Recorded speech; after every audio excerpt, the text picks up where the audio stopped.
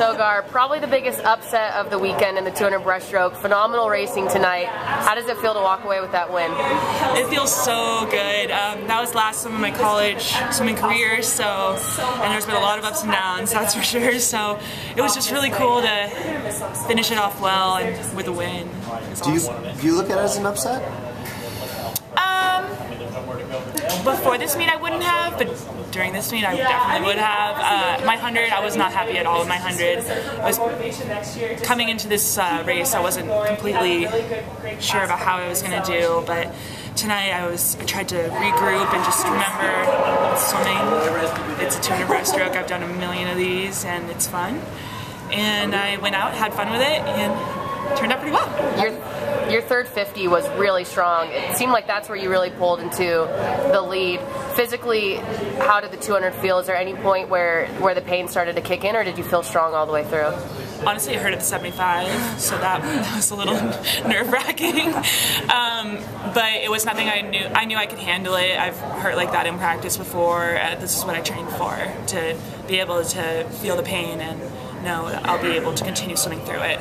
So I was excited to embrace that, and then the excitement kind of took over for the last 50. And. The disadvantage to being in lane number one is that you're kind of could be separated from the race. Uh, what are the advantages of being in one of those outside lanes in a final like that? Um, well, I was right next to my team. They were standing right there on the sideline, so that was really cool. I could hear them the entire time. Really loud. So that was really nice. And also, uh, I don't know if the other girls necessarily saw me.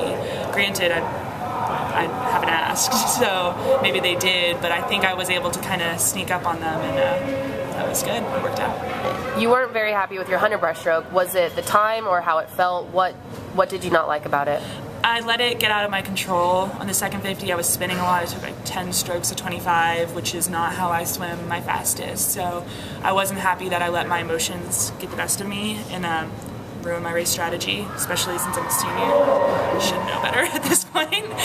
But uh, I regrouped and worked it out for the 200 when it comes to turning around after a performance like that that you're disappointed in, do you rely on teammates, coaches, or is it something that you had to kind of step back and do yourself to turn around that ship? I think it's all three. Um, teammates, probably the most. I knew I had to, especially in a team competition like this, like there's no room to let your head get the best of you. You need to be there for your teammates and you need to do what you can to like represent them as well as yourself. And then coaches, I mean, we love Carol and Rourke and Ian, so I just wanted to make them proud. And then for myself, I mean, it's my last swim. So. As a veteran on the pool deck, how would you compare this NCAA's to the years past?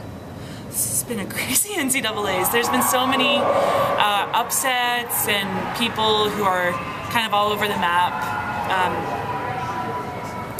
Do you have a reason for why you think that is? I don't really know. I mean, I know it's like right after the Olympics, so everyone's training is in kind of different places. Some people took breaks and stuff like that, so I know that probably plays a factor, but uh, it definitely gives room for new people to get in, make their mark, so which I'm excited about.